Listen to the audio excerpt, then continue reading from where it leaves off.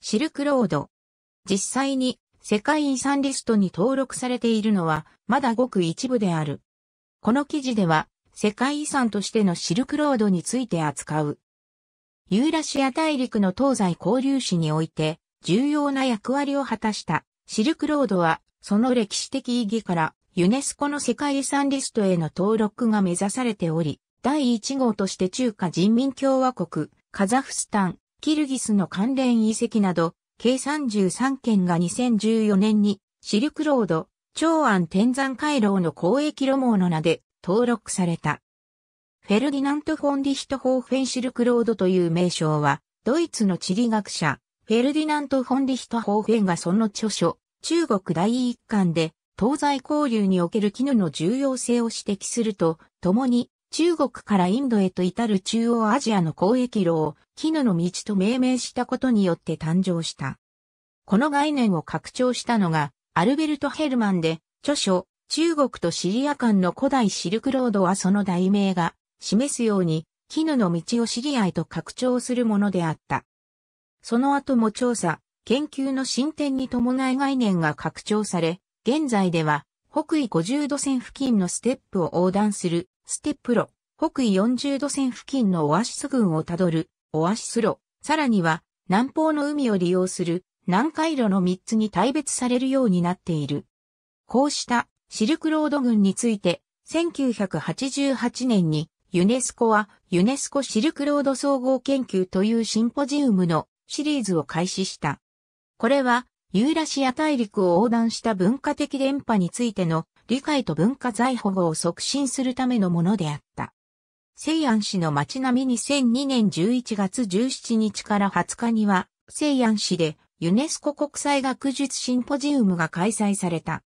この席上、ユネスコと共に主催者として名を連ねていた平山育夫は中国当局と共に長安からローマに至るシルクロード全区間の世界遺産登録の構想を示した。この構想はシンポジウムで採択された西安宣言とともにユネスコ事務局長松浦光一郎国際連合事務総長コフィアナンに提出された提案書に盛り込まれた。2006年8月にユネスコと中国の国家文物局は新疆ウイグル自治区のトルファン市で開催された会議を共同で講演した。この会議では、シルクロード関連遺産の世界遺産リスト登録への申請の協力関係について話し合われた。この会議において、中国と中央アジア5カ国は2010年の共同推薦に向けて合意した。さらに、同年10月のサマルカンド会議でコンセプトペーパーの作成準備が提案され、翌年4月のドゥシャンベ会議で、最初のコンセプトペーパーが採択された。このコンセプトペーパーは、西安よりも西の地域を対象としていたが、シルクロードは日本などへの文化的電波も視野に入り得る。そこで、山内和也、前田工作ら日本の専門家が、コンセプトペーパーの修正を提言し、同年10月の西安会議以降、日本も正式に参加していくこととなった。2008年2月5日にはイランがホラーサン地方のシルクロード関連遺産を世界遺産の暫定リストに記載し、翌月の28日には中国が48件の関連遺産を暫定リストに記載し、登録に向けた動きが具体化した。2009年には連続性のある文化遺産としてのシルクロード第1回調整委員会が西安市にて開催された。これに続き、2010年には1月20日に、インドが12件の構成資産を暫定リストに記載し、2月19日には、キルギスが6件の構成資産を、ウズベキスタンが18件の構成資産をそれぞれ暫定リストに記載し、3月1日には、トルクメニスタンがシルクロードの11区間の29遺跡を暫定リストに記載した。2011年の第2回調整委員会では、前出の中国と中央アジア5カ国に加え、アフガニスタン、ネパール、インド、イラン、大韓民国、日本が参加したが、この席では最優先すべき推薦は中国と中央アジア5カ国によることが確認された。2011年末にユネスコはその広大さを理由に登録申請を回廊ごとに分割してはどうかと提案した。同年12月に中国、カザフスタン、キルギスは中原から天山山脈を横断する回廊を共同推薦することに合意した。こうした実際の推薦に向けた動きの中、シルクロードの世界遺産登録と中央アジアへの経済的影響力の強化を結びつける中国は推薦準備に遅れが見られたウズベキスタンとタジキスタンを排除したとされる。そのタジキスタンとウズベキスタンは別の回廊での推薦準備を行うこととなった。2012年3月5日にはカザフスタンが暫定リストへの記載を行い、2013年1月に中国、カザフスタン、キルギスは長安天山回廊を正式に推薦した。同じ月にタジキスタンとウズベキスタンもパンジケンとサマルカンド、ポイケント回廊の正式推薦にこぎつけた。それらは翌年の6月に開催された第38回世界遺産委員会で審議され、前者は正式登録を果たしたが、後者の登録は見送られた。正式登録を果たしたカザフスタンの代表は、その世界遺産委員会審議の場で、資金援助や人材育成に尽力してきた日本の名を挙げ、その協力への感謝を表明した。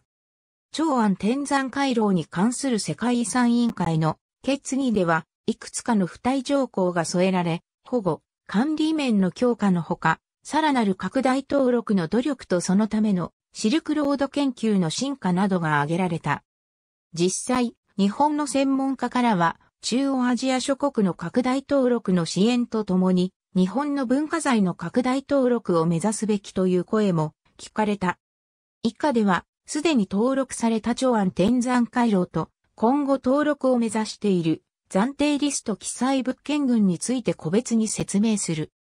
シルクロード、長安天山回廊の交易路網は2014年の第38回世界遺産委員会でユネスコの世界遺産リストに登録された文化遺産の一つであり、ユーラシア大陸の東西交流史において重要な位置を占めたシルクロードの遺跡群のうち、中華人民共和国、カザフスタン、キルギスの3カ国33資産で構成されている。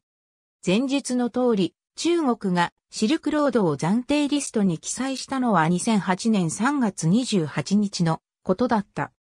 その時の名称は、前漢時代から清代までのシルクロードの中国部分、すなわち、河南省、先西省、甘粛省、青海省、寧夏海賊自治区、新疆ウイグル自治区の陸路、及び浙江省寧波市、福建省泉州市の回路であった。キルギスは2010年2月19日に、キルギスのシルクロード遺跡群という名称で暫定リスト記載を行い、カザフスタンは2012年3月5日に、シルクロードという名称で暫定リスト記載を行った。2013年1月28日に、中国、カザフスタン、キルギスの3カ国によって推薦され、書類はキルギスによって正式に提出された。世界遺産委員会への文化遺産の推薦は各国一件以内と決められており、中国は同じ年に大運河を推薦していたためである。ここに含まれるのは中国22件、カザフスタン8件、キルギス3件の構成資産である。中国はもともと48件の構成資産を暫定リストに記載していたので、かなり絞り込んだことになる。その結果、寧夏海賊自治区の遺跡群や南海路関連の遺跡群などが除外された。中国当局は、そこで除外された物件の将来的な推薦に含みを持たせている。正式推薦時の名称は、シルクロード、シルクロードの最初の区間、天山回廊の交易路網であった。この推薦を受けた世界遺産委員会の諮問機関である国際記念物遺跡会議は、現地調査も踏まえて登録を勧告したが、名称についてはもっと短縮すべきことを復帰し、一案としてシルクロード、天山回廊の交易路網を挙げた。この勧告の通りに名称の調整が行われたものの、構成資産などは何の変更もなく、勧告通りに登録が認められた。審議に際して委員国のうちトルコは自国の暫定リスト記載物件にもシルクロード関連の物件が含まれることを挙げつつ、将来的にシルクロード登録の国際協力の流れに加わりたいという意思を表明した。中国の世界遺産は同年に登録された大運河とも合わせて47件になったが、他国と共有する国境を越える世界遺産はこれが初めてであった。カザフスタンにとってはこれが4件目、キルギスにとっては2件目の世界遺産だが、いずれにとっても国境を越える世界遺産は初であった。国境を越える道の世界遺産としては、すでにレーティッシュ鉄道アルブラ線、ベルニナ線と周辺の景観が存在したが、その総延長はアルブラ線、ベルニナ線を合わせても約 128km である。また、長安天山回廊と同じ年には南米6カ国の道の遺産、カパックニャンが登録されたが、こちらの総延長は 697.45km である。それらに対し、長安天山回廊の登録された総延長は 8700km に及ぶ。これは世界文化遺産の規模としては過去最大級と言われる。なお、世界遺産登録を成功させた中国ではその前年にあたる2013年9月に、中国共産党総書記の習近平が、シルクロード経済ベルト構想を打ち出している。上海協力機構加盟国でもある中央アジアへの経済的影響力の強化を目指す、この構想にとって、シルクロードの世界遺産登録は、地域での求心力を高めることとも結びつけられているという指摘もある。世界遺産としての正式登録名はシルクローズ、ザルーツネットワークオブチャンアン、チアンシャンコリドール、ルーツデラソイエ、ルレスデルーツジコリドールデチャンアンテンシャンである。その日本語訳は資料によって以下のような違いがある。世界遺産登録物件は中国22件、カザフスタン8件、キルギス3件の計33件で構成されており、それらを相互につないでいる交易路についても主要な路線は登録されている。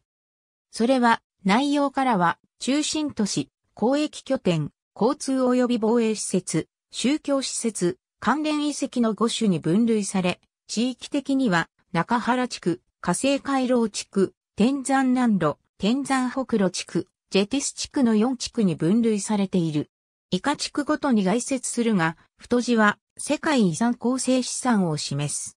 中原地区中原地区は、紀元前2世紀から10世紀の皇帝の権力を伝える遺跡をはじめ、仏教文化の伝播や旅人の安全に関する遺跡などが含まれている。追悼落葉城帝カラエモン皇帝の権力を示すのは、長安の時代ごとの映画を伝える全館長安城、妙宮遺跡と、東長安城大民宮及び、落葉の映画を示す五冠北義落葉城と、追悼落葉城帝カナエモンである。シルクロードの起点の一つとしてその名が上がる長安に最初に都が置かれたのは前漢時代で、当時の遺跡は現在の西安の北西約 7km に位置する。妙宮はその宮殿の遺跡で、敷地面積は 4.8km 四方であった。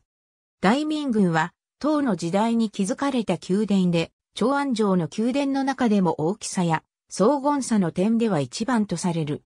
現在は国会石公園としてかつての建物などが復元されている。他方、落葉も古来いくつもの王朝が遠いた歴史ある都市でシルクロードの東端として位置づけられる都市の一つでもあり、シルクロードへつながる門であった低カラエ門などが登録されている。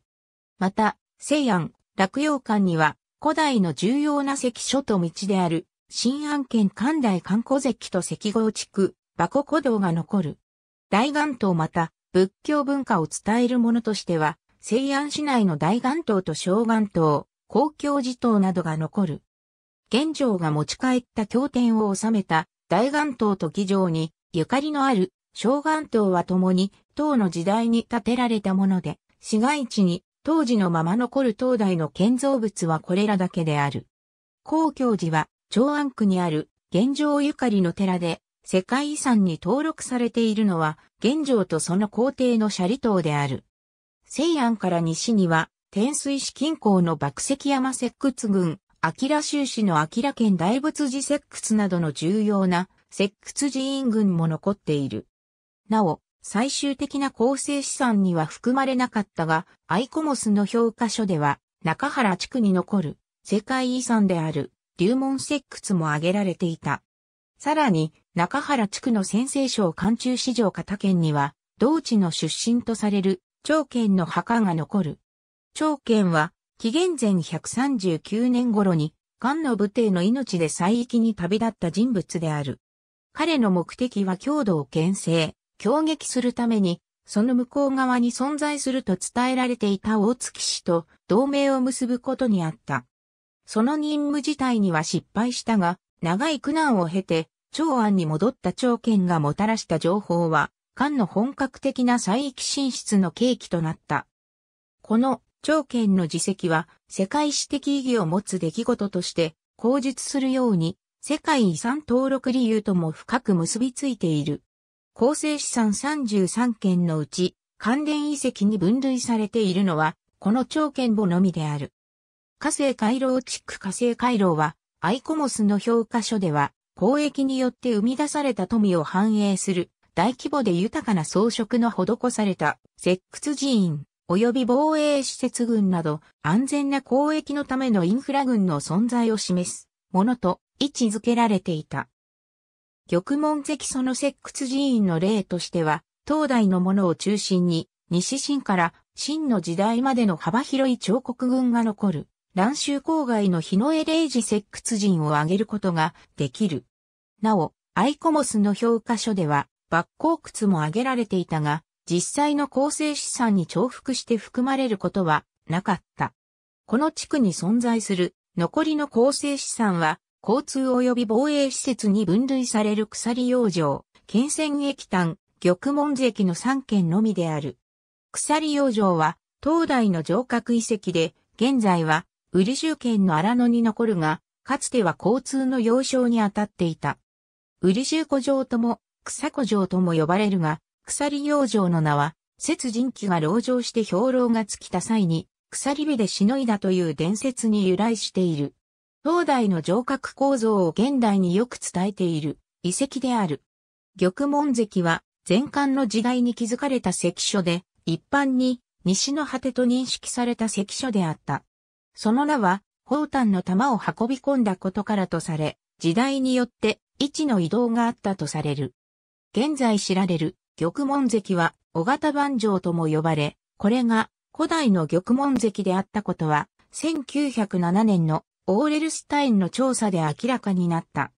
県線駅炭は物資の輸送や郵便の拠点だった遺跡である。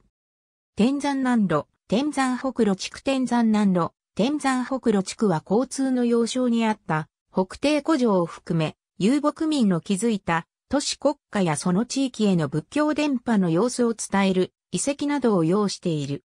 高川古城この地区に含まれる中心都市は北帝古城、交渉古城、高川古城の3県である。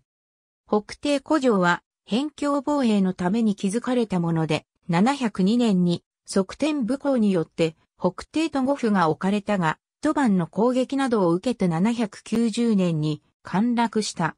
遺跡からは、東大の遺物が多く出土しているほか、天山ウイグル王国時代の北帝海骨寺院の遺跡も含まれている。交渉古城は5世紀末に開かれた漢民族の植民国家である工事市交渉国の王城跡で、トルファン盆地に残る都市遺跡としては最大である。また、唐の時代には、清州と五府、さらには、西ウイグル王国の都の城と、時代ごとに中心的な位置を占めた。ここには、仏教、慶教、マニ教など様々な宗教の遺跡も残る。高川古城はその名の通り二つの川に挟まれた断崖の上に残る遺跡で、漢の時代には車島江国の都であった。現存する古城は東大よりも後のものだが、半築を用いた都市遺跡として最古の部類に属している。木内はいくつもの地区に分かれ、官職には安政と五府の意向が含まれている。木汁石窟人仏教伝播の様子を伝えるのは、木汁石窟寺院と須橋仏教寺院史で、前者は数多くの壁画が残る記事国の仏教遺跡で、その石窟の様式は、インドグプタ様式が直接伝わったものと推測され、後に、敦煌や運行石窟にも伝えられることとなった。後者は、現状の大東西域記でも称えられている仏教寺院の遺跡で、記事国では最大だったとされている。なお、木汁石窟寺院や須橋古城を観光する際に、最寄りとなる主要都市は、クチャで、クチャ郊外には、木汁ヶ派放火台もある。これはその名の通り放火に使われた土の塔で、高さは約13メートルあり、新疆では最大とされる。ジェティス地区バラサ郡のブラナの島アクルタスジェティス地区は、石ククル周辺の肥沃な地域で、エフタル、カラキタイ、カラハンアサ、カルルク、トゥルギシ、西特血、ローランなど、様々な民族が時代ごとに築いた諸国家の姿を伝える巨大な都市遺跡、及び小規模な交易拠点などを対象としている。これらは規模の点で大きく異なるが、城壁に囲まれた集落という点で共通する。中心都市に分類されているのは、西洋城、バラサ郡、ネバケとガヤリクの4県である。このうち、イリ渓谷最大の都市だったカヤリクがカザフスタンにあるのを除けば、いずれもキルギスにあり、キルギスの構成資産はこれらで全部である。アクベシム遺跡は、ソグド人都市を前身とする7世紀の都の城遺跡である。当時この地を支配していたのは、西特決で、現状もこの地で、西特決の河岸を訪ねている。しかし、唐は7世紀半ばに、これを滅ぼし、西洋城を置いたのである。バラサ軍はカラハンアサの首都、ついで清涼の首都となった遺跡で、高さ24メートルの円錐塔、ブラナの塔が残る。クラスナやレーチカは、中渓谷、タラス渓谷を含む、セミレチエ地方で最大とされる遺跡で、全体は21世紀初頭の時点でも発掘しきれていない。時期は7世紀から9世紀とされる。交易拠点に分類されているのがこの地区のタルガル、アクトベ、クラン、オルネク、アクルタス、コストベで交易拠点に分類される構成資産はこれで全てである。これらはいずれもアルマトイからタラスにかけて点在しており、時期に若干の差はあるが、6世紀頃から13世紀頃にかけて交易によって繁栄していた。また、これらの都市遺跡には仏教だけでなく、ネストリウス派キリスト教、ゾロアスター教、マニ教などの遺跡も含み、シルクロードを介した多彩な宗教の電波の様子を伝えている。この地区で唯一、交通及び防衛施設に分類されているのが、バルハシコ近くの農耕集落である、カラメルゲンである。構成資産一覧表ここまでで言及した物件も含め、以下に構成資産をすべて示す。ただし、2015年3月時点では、世界遺産センターの公式サイトでは、世界遺産登録 ID がわずか3件分しか公表されていないので、その欄は空欄が多くなっている。マニ教祭司の絵この世界遺産は、世界遺産登録基準のうち、以下の条件を満たし、登録された。条件の施設欄これらの適用基準は推薦国の申請が認められた形である。バブケントのミナレットシルクロード、パンジケントサマルカンドポイケント回廊は2014年の第38回世界遺産委員会で審議されたウズベキスタンとタジキスタンの推薦物件であった。ウズベキスタンの暫定リスト記載は2010年2月19日で、記載名称はウズベキスタンのシルクロード遺跡群、タジキスタンの暫定リスト記載は2013年1月15日で、記載名称はタジキスタンのシルクロード遺跡群であった。推薦対象は、パンジケントの古代都市、ポイケント、チョルバクル、バブケントのミナレットなど、計12件であったが、諮問機関のアイコモスからは、なぜその12件に絞ったのかについて、価値の証明が不十分であり、推薦時点では完全性と申請性と、世界遺産登録基準のいずれも全く満たせていないとして、登録延期を勧告された。また、登録範囲に含まれる既存の世界遺産登録物件、ブハラ歴史地区とサマルカンド文化交差路との関連性を明確にすることを求められ、バブケントのミナレット周辺での大病院を含む開発への懸念なども示された。実際の委員会審議は、勧告通り、登録延期とするか、勧告よりも一段上の情報照会決議とするかで、委員国の見解は2分され、アイコモスや副議長国の日本などからは、アイコモスの専門調査員の再派遣なしでも、再審議が可能になる情報照会決議とした場合に、抱えている問題点を適切に対処しきれるかどうかへの懸念も示されたが、情報照会決議としつつも、推薦国からの要望次第でアイコモスが専門調査員を再派遣できるという妥協案が示されたことで、最終的に情報紹介決議に落ち着いた。2014年の第38回世界遺産委員会終了時点で、シルクロードを登録名に含んでいて、なおかつ委員会にまだ推薦されたことのない暫定リスト記載物件には以下の3件がある。2014年のシルクロード長安天山回廊の交易路網の登録以前からシルクロードに関わる世界遺産は複数存在していた。しかし、シルクロード概念の広さから何をもってシルクロード関連とみなすかには様々な見解が存在し得る。そこで、ここでは世界遺産登録物件のうち世界遺産センターの公式ウェブサイト上で公表されている概要説明ないし登録基準適用理由説明の中にシルクロードへの直接的言及を含むもの、もしくはそれに準ずるもののみを挙げておく。アスターナ古母郡、イサクパシャ宮殿。ありがとうございます。